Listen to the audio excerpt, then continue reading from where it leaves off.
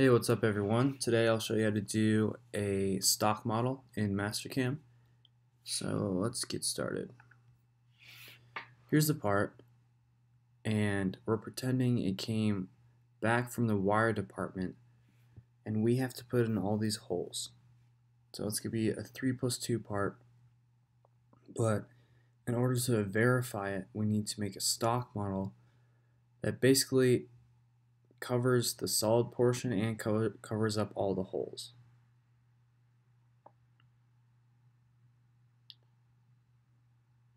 So go to levels.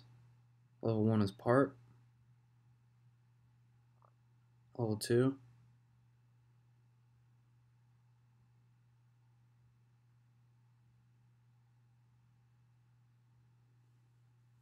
We'll do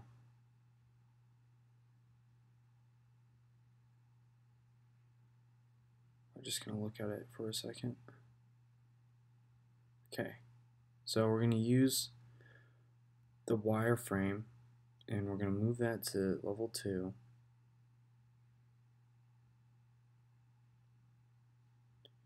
Now we're just going to activate level 2. Next, we're going to extrude that. So this is kind of the beginning of the stock model.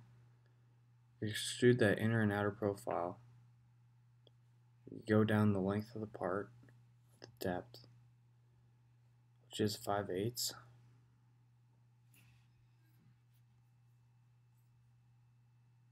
Click the check. So that looks pretty good. So right click, mill toolpaths, stock model.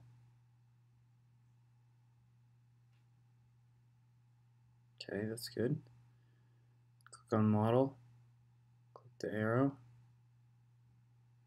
click on that new solid we just made.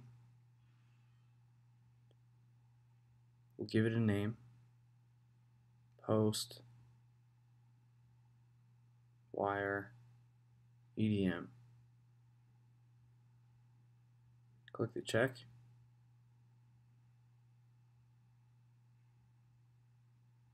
Go to levels, turn on the part. And now we can turn the stock model on and off. So this will be used for a verify so we can make sure that all these different holes are being machined correctly. They're all different sizes so we'll be able to use compare function with the stock model to make sure we get this thing done right. So we're going to create a new plane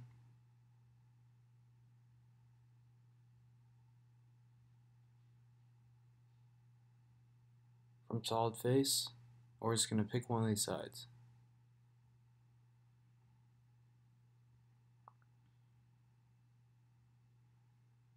Okay. So, we go to toolpaths. First, we're going to measure these holes. So, 270 thou. We'll do, let's see here, what do we want to do?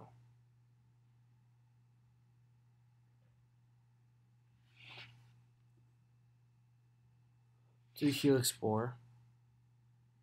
Just select those three holes. Click check. Then we'll just find a tool.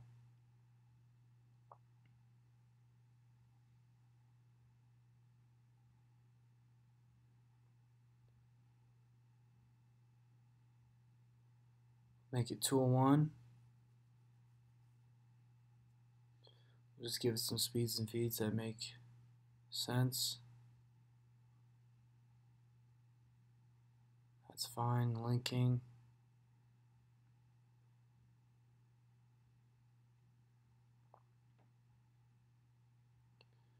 First of all, we change them all to absolute, reselect that depth, add a little bit.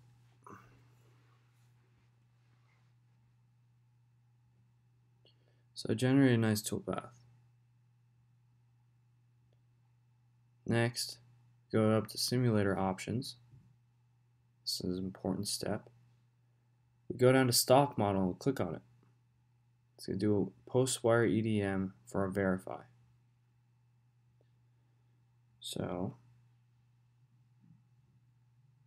let this thing load up for a second. Computer's not the fastest.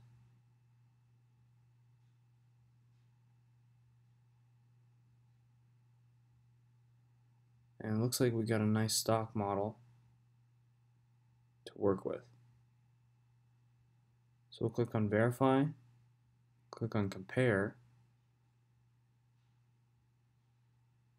and now everything green is to size because it came from wire and then everything that's blue is uh, out of tolerance.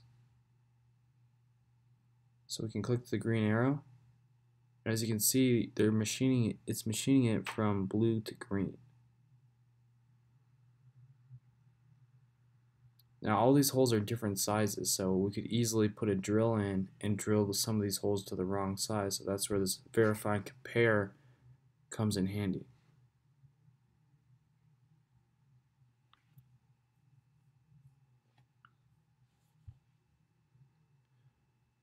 So that is our simple video on how to make a stock model. I hope you guys liked the video and subscribe for more.